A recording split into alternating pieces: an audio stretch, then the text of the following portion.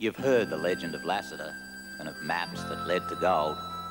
Well, Jack Black's story will get to you, because till now it's never been told. An old mate had left Jack a map that told of gold in a barrel somewhere out the back of Bourke, about three days in the saddle.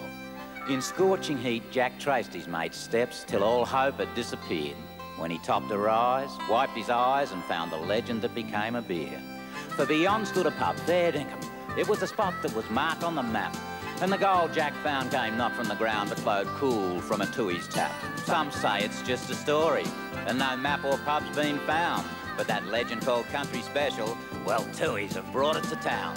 So fill your hand with an ice cold can, Country Special's here. Let's drink to a brew worth drinking to, Tooheys Country Special. The legend that became a beer.